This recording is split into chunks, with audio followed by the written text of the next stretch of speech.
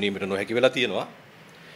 අපි ඉතාම තීරණාත්මක තැනක අපේ රට තියෙන වෙලාවක මේ තත්වයට මේ රට වර්ධනය වෙන්න පෙර මේ තත්වය ඇතිවිය හැකි බව පැවති ආණ්ඩුවේ අභ්‍යන්තරය තුල ඉඳගෙන කල්තියා කරුණු ඉදිරිපත් කරා.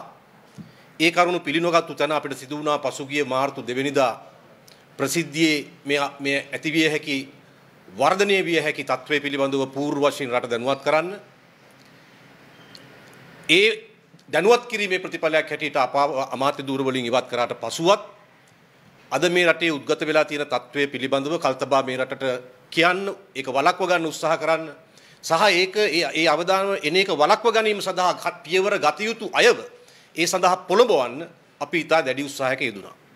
නමුත් කුමන අවාසනාවකට හෝ ඒ අදහස් නිසි සැලකිල්ලට භාජනය නොවිච්ච නිසා ඉන් අනතුරුවත් අපි උත්සාහ කළා රට අස්ථාවර සහ අරාජික වෙන්න දෙන්නේ නැතුව අපි තවත් යෝජනාවලියක් ඉදිරිපත් කළා මේ 9 වෙනිදා 9 වෙනිදා පස්සේ අපි ඉදිරිපත් කරා අන්තර්කාලීන සර්වපාක්ෂික එකගතා පාලනයක් පිහිටුවන්න. නමුත් ඒ උත්සාහයත් අසාර්ථක වුණා රනිල් වික්‍රමසිංහ මහත්මයා ඇවිල්ලා එකපාරට අග්‍රාමාත්‍ය ධූරයේ තනතුර බාර ගැනීමත් එක්ක. දැන් අපිට පේනවා රනිල් වික්‍රමසිංහ මහත්මයා පැමිණිලා අගමැතිකම ගත්තයි කියලා ඒ වර්ධනය වෙමින් තිබුණු දේශපාලන අසහනයවත් සමාජ අසහනයවත් ආර්ථික අවපාත වීමත්වත් පාලනය වුණේ නැහැ. ඒ වෙනුවට උනේ ඒ සියලු සාධක උග්‍රවීම වර්ධනය වීම.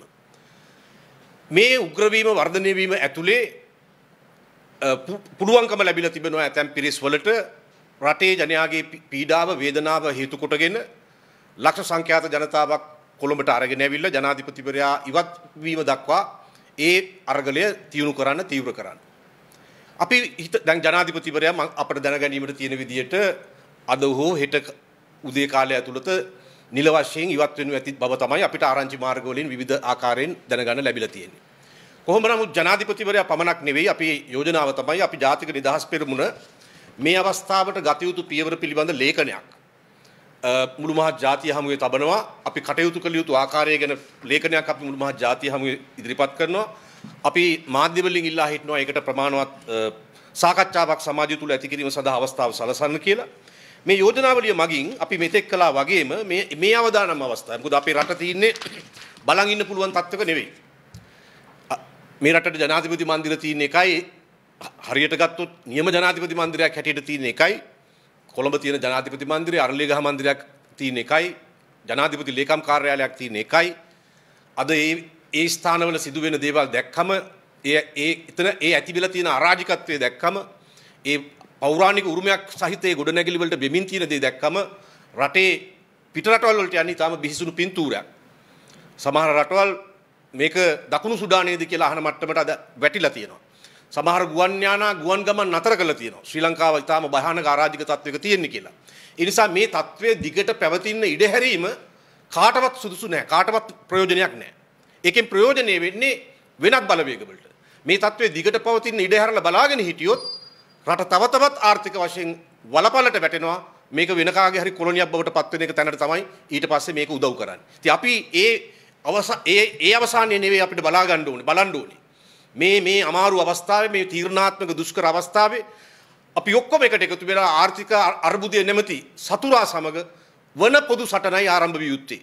ජනාධිපති ගෝඨාභය රාජපක්ෂ ඉවත් වීමෙන් පසු එහෙම නැත්නම් රනිල් වික්‍රමසිංහ අග්‍රාමාත්‍යවරයාත් ඉවත් වීමෙන් පසු නව අන්තර්කාලීන සර්වපාක්ෂික පාලනයක් පිහිටුවා ගත යුතුයි. අපි මේ යෝජනාවලිය ඉදිරිපත් කරනවා කොහොමද ඒක කරන්න ඕනේ කියලා.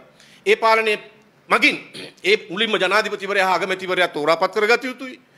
ඒ ජනාධිපතිත් අගමැතිත් පත්තුණු වහාම සර්වපාක්ෂික සමුළුවක් ওই විවිධ සිවිල් සංවිධාන ජාතික සංවිධාන ඔක්කොම යම් යම් අදහස් යෝජනා ඉදිරිපත් කළ තියෙන මේ සිවිල් සංවිධානත් ඇතුළුව සර්වපාක්ෂික සමුළුවක් පැවැත්විය යුතුයි. ඒ සර්වපාක්ෂික සමුළුවේ නව ජනාධිපතිවරයා තමන්ගේ රෝඩ් මැප් එක තමන්ගේ වැඩපිළිවෙල තමන්ගේ මාර්ගසිතියම විවෘතව සහ විනිවිදව රටට ඉදිරිපත් කළ යුතුයි. මේ තීරණාත්මක දැවෙන ප්‍රශ්න ටිකට ඔහු දෙන විසඳුම මොකක්ද කියන එක පැහැදිලිව රටට හා ජාතියට ඉදිරිපත් කළ යුතුයි. ඒ වගේම ඒ වැඩපිළිවෙලට අනුව මේක යනවද කියලා බලන්න. එක පැත්තකින් පාර්ලිමේන්තුවේ සියලු මන්ත්‍රීවරුන්ගේ මහජන වගවීම සහතික කිරීම සඳහා පාර්ලිමේන්තුවේ සියලු මන්ත්‍රීවරු සම්බන්ධ කරගන්න ආකාරයට අනිත් හැම පාර්ශ්වයක්ම මම කලින් කියපු පාර්ශ්ව නියෝජනය වන ආකාරයට මහ ජාතික මහජන සභාවක් පිහිටුවිය යුතුයි. එම සභාව සහ ජාතික විදාය සභාව එක්ව ජාතික ආවේක්ෂණ සභාවක් ක්‍රියාත්මක කළ යුතුයි. ආවේක්ෂණ සභාවක් කියන්නේ ඒ දීලා තියෙන වැඩපිළිවෙලට අනුව මේ රට ඉදිරියට යනවද නැද්ද කියලා විපරම් කරමින් විමසමින් ඒ පිළිබඳව රටට වාර්තා කරන ආවේක්ෂණ සභාවක් පිහිටවිය යුතුයි. මෙන්න මේ ආකාරයේ යෝජනාවලියක් අපි අද ජනගත කරනවා. මේ ආකාරයට කරොත් අපි විශ්වාස කරනවා අපේ රටේ මේ තියෙන අරාජිකත්වයෙන් කඩාගෙන වැටීමෙන් බේරගෙන මහමැතිවරණයක් තියන්න සුදුසු වාතාවරණයක් යම්කිසි ස්ථාවර වාතාවරණයක් තෙල් තියෙන ගෑස් තියෙන රටේ සාමාන්‍ය ජන ජීවිතයේ යථාර්ථවත්ව පවත්වාගෙන යාමට ප්‍රමාණවත් හැකියාවක් තියෙන වාතාවරණය ඇති කරන්න පුළුවන් වෙයි. ඒයින් කියවෙන්නේ එම වාතාවරණය ඇති කිරීම සමග මහමැතිවරණයකට මේ රටේ ජනතාවට අවස්ථාව ලබා දෙන්න පුළුවන් වෙයි. ඉතින් අපි මේ වෙලාවේ පටු දේශපාලන ප්‍රයෝජන වාසි ගන්න නෙවෙයි මේ කතා කරන්නේ. අපිට පටු ප්‍රයෝජන පටු වාසි ගැනීමේ න්‍යාය පත්‍රයක් නෙවෙයි මේ රට මේ වැටමින් යන ප්‍රපාතයෙන් ගොඩ ගැනීමේ අවශ්‍යතාවය තියෙන්නේ. ඒ නිසා අපි ඉතා ඕනකමින් හැම දේශපාලන පක්ෂයකම පාර්ශවයකින් ඉල්ලා හිටනවා එකිනෙකාට එරෙහිව අවියමෝරා ගැනීමෙන් මේක සුඩානයකටත් වඩා එහා තත්වයකට මේ රට වැටෙන එක විතරයි වෙන්නේ. මේ තීරණාත්මක මොහොතේ සියලු පක්ෂ සහ සියලු පාර්ශව එකට එකතුව සමගිව මේ අභියෝගයේ ජය ගැනීම සඳහා කටයුතු කරමු. ඒ සඳහා මේ අපි ඕන ඉදිරියට එන ඕනම ජනාධිපති කෙනෙක් ඕනම අගමැති කෙනෙක් මෙන්න මේ කියන අන්තර්කාලීන පාලනයත් එක්ක බැඳුණු මේ යෝජනාවලිය පිළිගන්නවා නම් ඒකට අවශ්‍ය කරන සහයෝගය ලබා දෙන්න අපේ පක්ෂයේ සූදානම් අපේ മന്ത്രിවරු 6 දෙනා සූදානම්. මේක තමයි අපිට ප්‍රධාන වශයෙන් ඔබට ඉදිරිපත් කරන්න තියෙන්නේ. ඔබට මේට අදාළ යම් ප්‍රශ්නයක් තියෙනවා නම් මතු කරන්න පුළුවන්.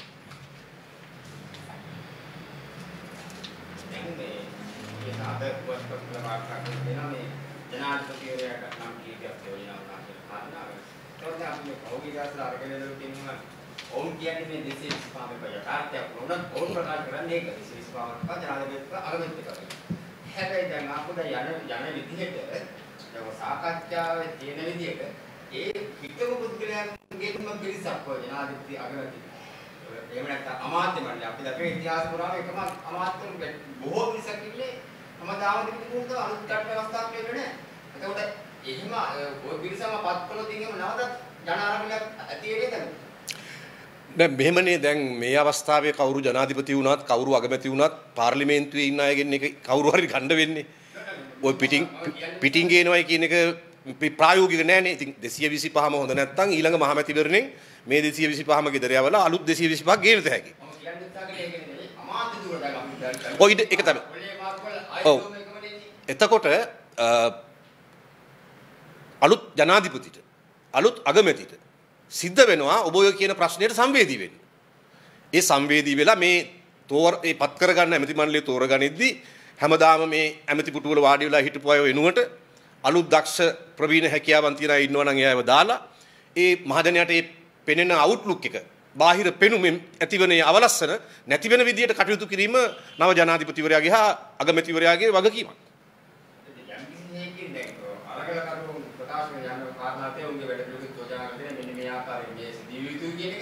නැවතත් මේ විදිහට පෞද්ගලික කාලෙ වෙච්ච අරගලයක් නොවෙන්න දැනට අපි වැඩ කළ යුතු නේද?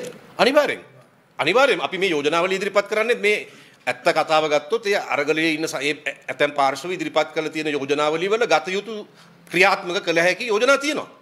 කඩිනමින් ක්‍රියාත්මක කළ හැකි යෝජනා තියෙනවා. ඉතින් ඒවා අපිට නව පාලනය මගින් ක්‍රියාත්මක කරන්න පුළුවන්. ඉතින් ඒ ඒ මගින් ඇතිවන විශ්වාසය ඇත්ත වශයෙන්ම මෙතන විශ්වාසය ඇතිවීමනේ වෙන්න ඕනේ. ඉතින් විශ්වාසය ඇති කර ගන්න නව ජනාධිපතිවරයා හා නව අග්‍රාමාත්‍යවරයා සමත් වෙන්න ඕනේ. ඒ අලුත් ආණ්ඩුව සමත් වෙන්න ඕනේ. ඒ වගේම තමයි අපිට තියෙන වර්තමානයේ අපි පිටේ පිට පාර්ලිමේන්තුවේ පිට මහ පොළේ මොන දේ කිව්වත් ඔක තීරණයනේ පාර්ලිමේන්තුවේ ඇතුළේ නෙමෙයි. එතකොට නෑ මේ අපි අපි කියන එකේ මම ඔබට පැහැදිලි කළා අපි කියනවා සර්වපාක්ෂික සමුළුවක් සහ හැම පාර්ශවයක්ම දැන් මේ මේ මේ කාලය තුල මේ අදහස් යෝජනා ඉදිරිපත් කරපු ඉන්නවනේ අපි දන්නවනේ විවිධ කණ්ඩායම් ජාතික සංවිධාන සිවිල් සංවිධාන ඒ හැම පාර්ශවයක්ම මේ සර්වපාක්ෂික සමුළුවට ගේන්න ඕන. එතකොට එතන කතා කරන්න ඕන. එතන එයාගේ අදහස් ගන්න ඕන. එතන ක්‍රියාත්මක කරන්න බැරි වේ හැම යෝජනාවම. පුළුවන් ඒවා එතනදී තීරණය කරන්න ඕන. ඒක මාසිකව රැස් වෙන්න ඕන. අන්න එහෙම මේ අදහසක් අපි මේ දීලා තියෙන ඔය කියන සිවිල් සංවිධානවල අදහසුත් සැලකිල්ලට අරගෙන රට පාලනය කිරීම ඒවා ඒ ඒ ආකෘති භාවිතාවට ගැනීම මගින් තමයි විශ්වාසය ජනිත වෙන්නේ. අපි ආවේක්ෂණ සභාවක් යෝජනා කරන්නේ ඒ හින්දා. ඔව්. ජනාධිපතිවරයාව පත් කරන්න වෙන්නේ පාර්ලිමේන්තුවේ 225 ඡන්ද වලින්. ඔව් එතකොට පිටත මොන දේ කිව්වද ඔබතුමා යෝජනා කරන මොන සාධන යෝජනා වෙන්න පුළුවන්. නමුත් ඡන්ද තියෙන්නේ පාර්ලිමේන්තු ඇතුළේ. එතකොට දැන් වර්තමානයේ තියෙන ඡන්ද ප්‍රමාණයත් එක්කවට දැනටත් තියෙන කෝටි බහුතර මන්දි ප්‍රමාණයක් ඉන්නේ. එතකොට දැන් ඔවුන්ට හැකියාව ලැබෙනව නේද? ඔවුන් කැමති අපේක්ෂා දිනවන්න මොන දේ කිව්වද? අපි ඉතින් ඒක බලමුකෝ මොකද්ද වෙන්නේ කියලා දැන් තුන් දෙනෙක් ඉල්ලනවා කියලා කියනවනේ. කොහොමත් පාර්ලිමේන්තුවේ ඡන්ද ටික තුනට බෙදනවනේ. නේ? දැන් අපි දැන් කොහොම බැලුවද පෞද්ගලික තිරිච්ච වැදගත් යෝජනා සහ යම් යම් පණ සම්බන්ධ කිරීමේදී එළිය මොන දේ කිව්වත් ඇතුළේ ගිහිල්ලා අපේ ඉස්සර වෙන තුන බොහොම පැහැදිලි සත්‍යයකින් ඉතින් එක එක්කිනා සිංහ ටෝක් එක එක එක මා සමාජ මාධ්‍ය වාර්තා කරලා තිබ්බා. මොන දේ කළත් ඇතුළේ ගිහිල්ලා තමන්ගේ පක්ෂය අපේක්ෂිත ඡන්ද අද උස්සනවා ඉතින් ඔබතුමා කියන කතාව මෙතනත් ඒ කාරණාවදී වැඩක් නෑ මේ මෙච්චර ලොකු අරගලයක් ගිහිල්ලා විනාශයක් වෙලා. නෑ ඒ සර්ව අසුභවාදයට වැටෙන්න එපා. ඔය සර්ව අසු සර්ව අසුභවාදයට වැටීමෙන් කිසිම කිසිම උත්තරයක් ලැබෙන්නේ නෑ. මොකද ඉතිහාසයේ ලංකාවේ වෙච්ච දේ පාර්ලිමේන්තුවේ වෙච්ච දේ ඔය ඒ විදිහට වෙච්ච දේවලුත් තියෙනවා. එහෙම නොවිය හොඳට වෙච්ච දේවලුත් තියෙනවා. දෙකම තියෙනවා ඔය පාර්ලිමේන්තුවේ වෙච්ච. නරකම නෙවෙයි ඔය පාර්ලිමේන්තුවෙන් වෙලා තියෙන්නේ. හොඳත් වෙලා තියෙනවා. ඒවා අපි පිළිගන්න ඕන. වැඩියෙන් වෙලා ඇත්තේ නරක වෙන්න පුළුවන්. හොඳ වෙලා තියෙනවා. හොඳ හොඳ මුකුත් වෙච්ච නැති පාර්ලිමේන්තුවක් කියන එක වැරදි.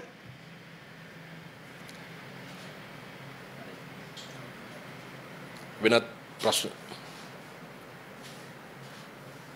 ඔබතුමා තාත් කාරණාවක් උඩ යාදී මේ ජනතා යුක්ති කරපුනේ මේ නායකතුමා ඔවුන්ගේ යෝජනා ටික එක්සත් වල තිබ්බා හැබැයි එතුමා කියන කාරණා තමයි අපිට අවස්ථාව දෙනවා නම් අපි කැමති පිරිසක් කරගෙන දේශපාලන පක්ෂවල කට්ටියක් ඉන්න ගරිය තුස්දෙත් ඉන්න හැබැයි අපිට කැමති පිරිසක් කරගෙන අපිට ආණ්ඩු කරන්න දෙනවා නම් අපි බාර ගන්න කැමතියි. කවුද කියන්නේ?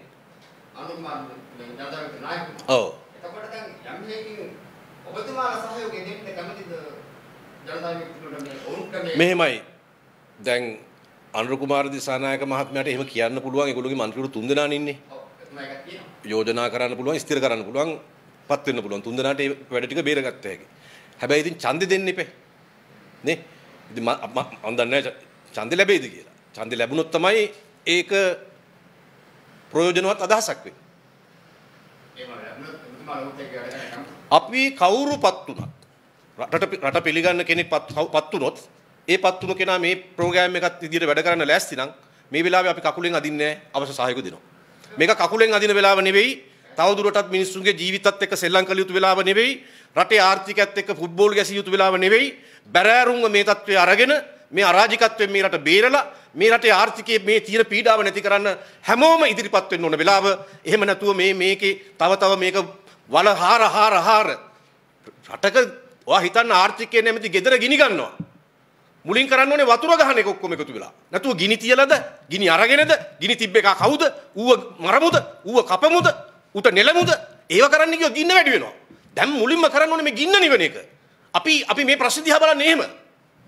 දැන් අනිත් දැන් මේ පාර්ලිමේන්තුවේ සීල බහුතරය ලබාගෙන ඉන්න මන්ත්‍රීන් තේරුම් ගත යුතු නේද මහ පොළොවේ තියෙන දැන් ඒක නෙමෙයි කියන කාරණාව. ඔව්ගේ දාසිකේ ඔව් ඉතින් මෙහෙමනේ මුල්- වලකට වැටීම මොලේට ලාභයක් වෙනවනේ කියලා කතාවක් තියෙනවනේ. ඉතින් මේ බෑ මොලේට ලාභයක් වෙලා ඇති. ඒ වගේම මට තව දෙයක් කියන්න ඕන මං හිතුවේ කවුරු හරි හයි කියලා. අර ඊයේ ප්‍රද දවසක මේ මේ මාධ්‍යයට කතා දක්වමින් හිටපු කෑ ගහලා ගිය පුද්ගලයා. ඔහු ඩැනියල් නේ? Shaun Daniel.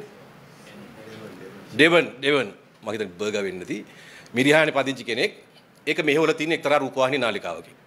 ඒ රූපවාහිනී නාලිකාවේ ප්‍රවෘත්ති මැදිරියේ කට්ටිය ඉතා උනන්දුවෙන් බලාගෙන ඉඳලා තියෙනවා බඩු ආවද බඩු ආවද කිය කී.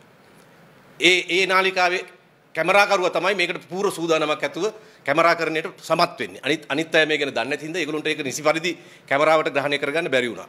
ඒක අර රනිල් වික්‍රමසිංහ මහත්මයාගේ ගේ ගිනි තියන්න උසිගන්නපු ආකාරයේම වෙනත් ආකාරයේ ක්‍රියාවක් ඒ නාලිකාව බලනවා કૃතිමව පෙන්වන්න අපට දැන් මහජනයා අතරට යන්න බෑ කියලා. ඒක ඉතින් ඒ ඒ නාලිකාව ගොඩාක් කල් ඉඳන් මම ගැන එහෙම හිතලාගෙන ඉඳලා තියෙනවා. ගහන්න පුළුවන් උපරිමයෙන් ගහලක් තියෙනවා. මම ඕන තරම් ඒගොල්ලෝගෙන් ගුටි කාලක් තියෙනවා. ඒත් අපි තාම මේ රටේ දේශපාලන ඉන්නවා. ඒ ඒ ඒ අයට ඕන විදියට අපේ දේශපාලනය තීරණය කරන්න බෑ. බොහොම ස්තුතියි. ඔබතුමාලාගේ පක්ෂයේ අනුගත පක්ෂතුන් සාකච්ඡා කරලා මොකද? ජාතික නිදහස් පෙරමුණ කියලා ඔබතුමාලා අනිත් පක්ෂත් සමග සාකච්ඡා කරලා අපි දැනට පක්ෂ 10ක් එක එකමුතුව වැඩ කරනවානේ.